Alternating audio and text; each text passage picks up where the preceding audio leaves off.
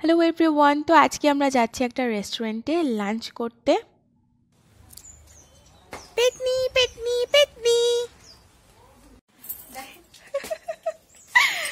আমরা এখন কোথায় যাচ্ছি? ঘুরতে না, গিলতে। এটাকে মারধর করেছিস না কিরম বেঁকে গেল কি করে?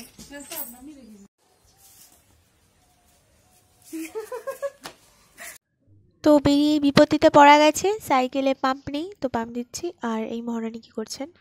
এই গাছটা কি সুন্দর, জানি না কি গাছ। তো চলো এবার পেট পুজো কেন্দ্রে যাওয়া যাক।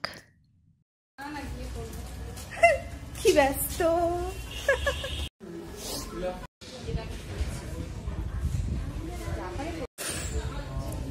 স্টার্টার আগে দিয়েছে।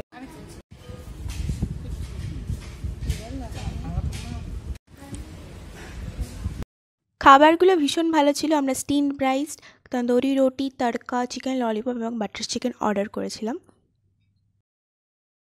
তখন থেকে পেট ভরে গেছে, পেট ভরে গেছে বলে পুরো সস খেয়েছে। এতবার এক বাটি সস পুরো নিয়েছে সস খাওয়া মামনি।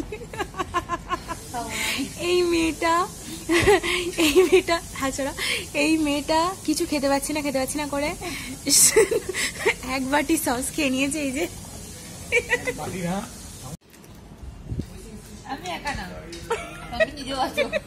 দেখো খেয়েছে আমার ছাদা বেঁধে নিয়ে যাচ্ছে।